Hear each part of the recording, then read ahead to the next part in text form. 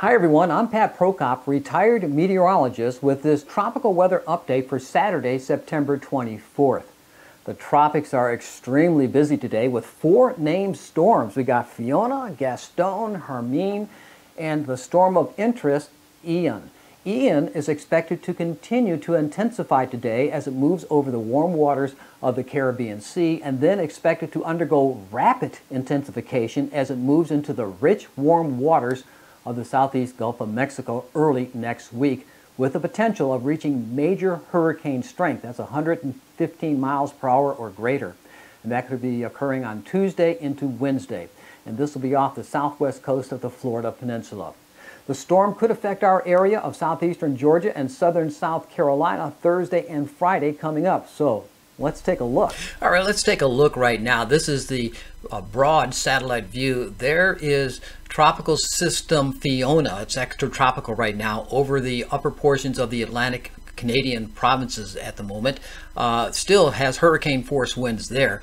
Over here, there you have Gaston, which is going to be moving in this direction, but then dissipate. And here you have the new tropical system Hermine, uh, which will be moving to the west northwest and then dissipating. So none of these are of any concern to us right now uh, or at, at, ever. A couple of tropical waves coming off the African coast and off the African coast, but uh, these are not showing any threat so far. I'm not expecting much out of those. But in this system here is Tropical Storm Ian.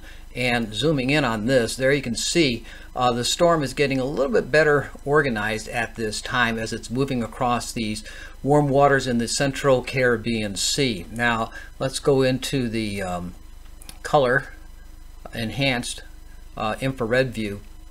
And there you can see the convection is continuing to develop. These dark areas of red uh, with little caps of white here indicating very cold cloud top temperatures, which indicates that the storm is getting better organized and less shear now is beginning to uh, uh, flow over this uh, region. As the shear abates, this will cause the storm to continue to intensify.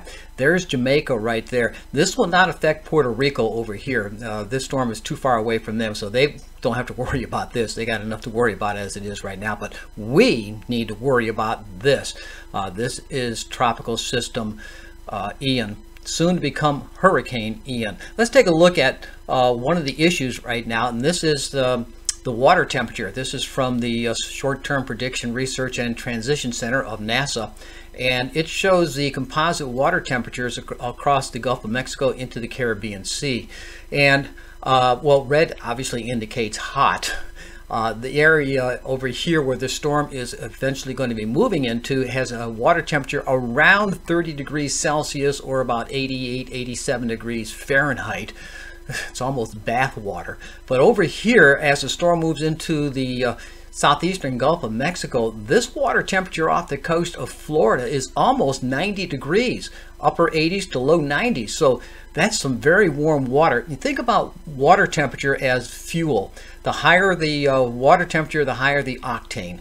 And that basically is what's happening here. So this has a tremendous amount of energy to work with once it gets there. So let's take a look at the, uh, the models right now. And first of all, the uh, global forecast system. Uh, a new run is coming in right now, but I'm looking at the uh, early morning run uh, that came in around 2 or 3 o'clock in the morning.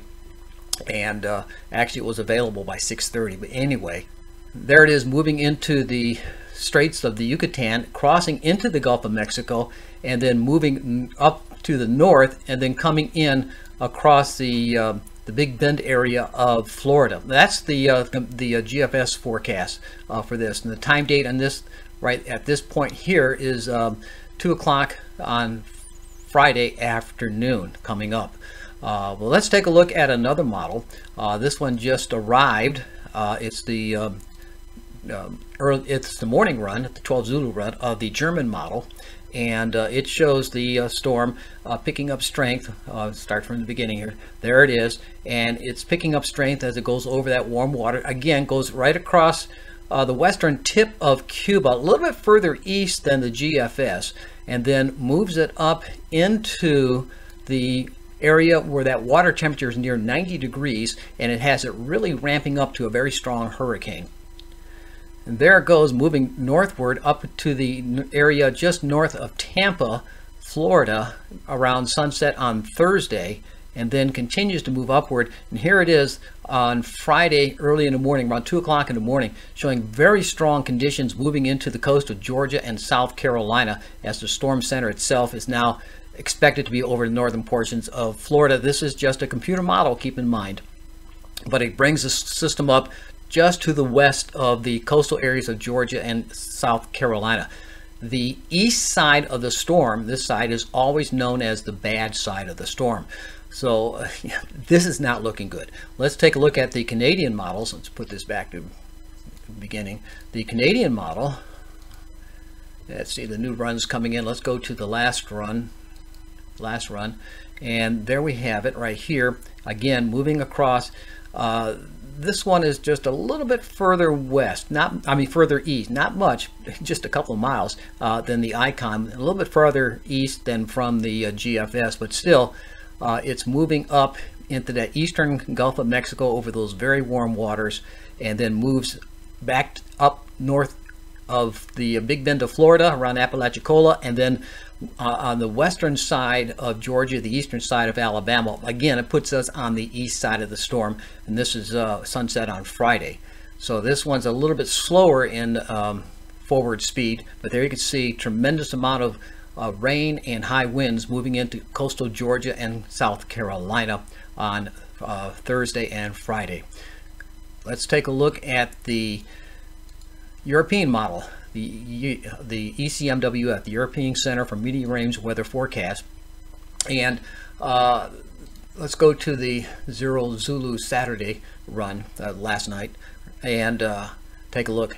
And it has it, again, a little bit more east than the GFS and the Icon and the Canadian model. And it has it going right around the Fort Myers, Florida area.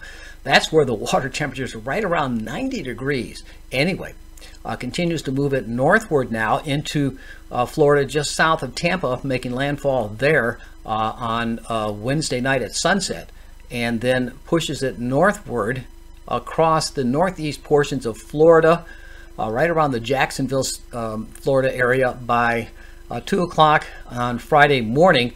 And there you can see it's producing considerable amount of uh, conditions of uh, severe weather conditions across eastern Georgia and eastern and coastal South Carolina.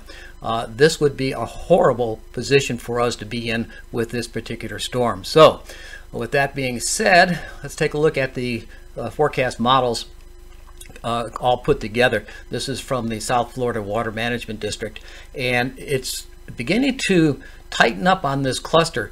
Um, usually by day five or so, the uh, the the paths are diverging quite a bit, but they're converging more and more now toward this eastern portions of the Florida area, um, uh, eastern Gulf of Mexico into the western Florida area, then up into Georgia and the northwest South Carolina. Uh, let's take a look at the National Hurricane Center. Um, go to my website, savannahpat.name, and just go down to the uh, tropical weather outlook. Go to the National Hurricane Center. There you can see all the storms ongoing right now. And I want to look at the forecast model for uh, tropical system Ian and uh, right here.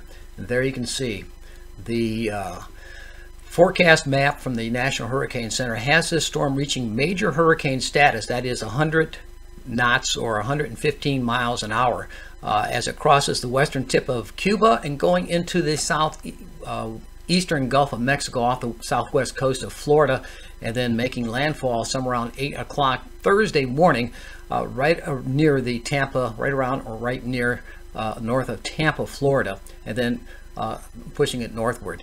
So this is something we're really, really going to have to keep an eye on uh, with this system here. There it is right now, continuing to gain strength in those warm waters of the Caribbean. Well, it might be a good idea to start preparing for tropical storm or hurricane conditions in our area. Start by putting your hurricane plan in place and closely monitor the forecast updates by tuning into your local favorite television station and other reliable news sources and our local National Weather Service meteorologists from Charleston and Jacksonville for our southern counties. And monitor your local emergency management agency and heed to their advice. You can find me on my website of savannahpat.name or my Weather and Nature Facebook page and on Twitter at Pat of Savannah. I have links to all these in the description section below, and you're invited to leave your comments in the comments section below, eh, below the description area. If you like this video, please hit the like button and even subscribe so that you'll be able to be notified whenever I upload new video. You can also catch me on my main YouTube channel, Heavenly Backyard Astronomy. There I post videos from my large telescopes outside in the garden looking at the planets, colorful nebulae, and star clusters, and of course those distant galaxies. For example, last night I captured Saturn and Jupiter right outside from the Heavenly Backyard Garden. Well, thanks for watching. Keep an eye on Ian because this is definitely going to be a threat to the southeast United States, including southeast Georgia and southern South Carolina later next week. See you later here on YouTube.